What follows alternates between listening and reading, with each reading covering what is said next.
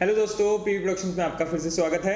आज हम बात करेंगे पेटीएम पेमेंट्स बैंक जो कि मई में लॉन्च हुआ था और अब जाके पब्लिक के लिए रिलीज़ हुआ है। पहले वो सिर्फ़ एम्प्लॉयज़ और एसोसिएट्स के लिए था बेटा वर्जन में था, अब वो पब्लिक के लिए लॉन्च हो चुका है। तो चलिए उसके बारे में बात करते हैं।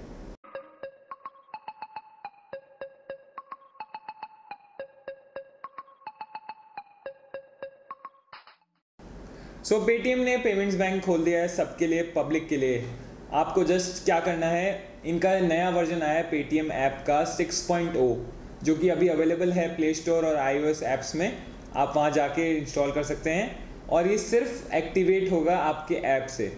आप वेबसाइट पे जाके पेटीएम के अपना पेमेंट्स बैंक एक्टिवेट नहीं कर सकते। सो so, आपको करना क्या होगा? आपको ऐप डाउनलोड करना है वापस अपडेट करना है। और उसमें अपने आप आपको पॉपअप आएगा ऑप्शन आएगा कि आपको पेमेंट्स बैंक खोलना है तो आप प्रोसीड दबाइएगा। फिर उसमें ऑप्शन आएगा कि आ, आपको आधार कार्ड डिटेल्स देनी है आपका पैन कार्ड नंबर देना है और आपका एड्रेस देना है।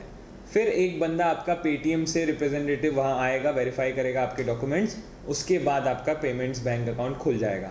मेरे केस में मेरा पेमेंट्स बैंक पहले से ही वेरीफाइड था, मेरा पेटीएम पहले से ही वेरीफाइड था, इसलिए मेरा अकाउंट खुलने में कोई दिक्कत नहीं हुई। अगर आपका भी पहले से पेटीएम वेरीफाइड है तो आपको जस्ट आपका प्रोसीड करना है पेमेंट्स बैंक के लिए और आपका एक्टिवेट हो जाएगा। आप देख सकते हैं ये वॉलेट है और सेविंग्स अकाउंट दोनों है।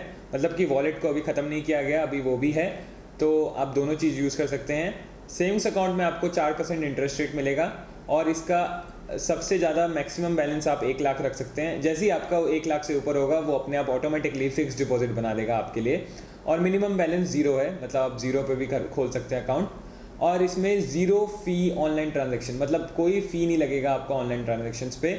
और इसमें आपको एक वर्चुअल डेबिट कार्ड मिलेगा आर यू पे का। जी हाँ। मैं इसके लिए भी एक वीडियो बनाऊँगा कि आर यू पे वीज़ा मास्टर कार्ड में क्या डिफरेंस होता है। अच्छा अब बात करते हैं कि इसके क्या क्या और फीचर हैं। इसमें आपको चेक बुक और डिमांड ड्राफ्ट आगे आने वाले समय में सर्विसेज़ लॉन्च करेंगे ये। अभी बहुत ही बेटा फ़ेज़ में है। इनका कोई स्टोर नहीं है, कुछ नहीं है यार आपको सिर्फ़ पेटीएम ऐप पे ही ये सारा कुछ कर सकते हैं आप। मतलब सेविंग्स अकाउंट को ट्रांजैक्शन है, सब देख सकते हैं, सब कुछ देख सकते हैं सिर्फ़ पेटीएम ऐप पे। और पेटीएम ने ये भी बताया है कि जो पैसे इसमें डिपॉजिट होंगे, वो सारे गवर्नमेंट बॉन्ड्स में लगेंगे। जिससे जो इंटरेस्ट रेट आएगा आपको मिलेगा। आपको तो पता ही होगा कैसे बैंक काम करते हैं। सो so, ये मतलब नेशनल डेवलपमेंट के लिए ही काम आएगा आपका डिपॉजिट किया हुआ पैसा।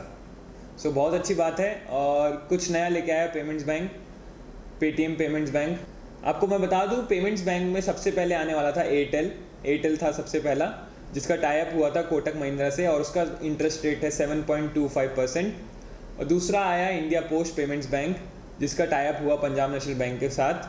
तीसरा आया अब ये पेटीएम पेमेंट्स बैंक जिसका टाइप हुआ इंडस इंड बैंक के साथ। और अब पेटीएम ये भी सोच रहा है कि वो फुल सर्विस बैंक्स के साथ टाइप करे ताकि वो loan credit card term deposits जैसी सर्विसेज़ प्रोवाइड कर सके।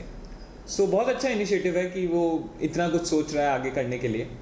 लेकिन मेरे हिसाब से मुझे कुछ इंटरेस्टिंग नहीं लगा पेटीएम का ये पेमेंट्स बैंक क्योंकि बहुत लिमिटेशंस है। आपको अगर इसमें पैसे ऐड भी करने हैं ना तो आपको आईएमपीएस या एन से किसी बैंक से इसमें ट्रांजेक्शन करने होंगे।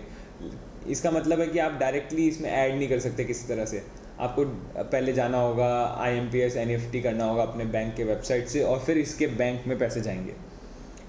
समझ में नहीं आ रहा मुझे क्या है ये, बड़ा अजीब है।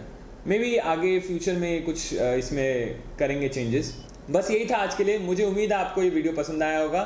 हमारे और वीडियोस देखने के लिए प्लीज़ हमें लाइक कीजिए सब्सक्राइब कीजिए और शेयर कीजिए। धन्यवाद।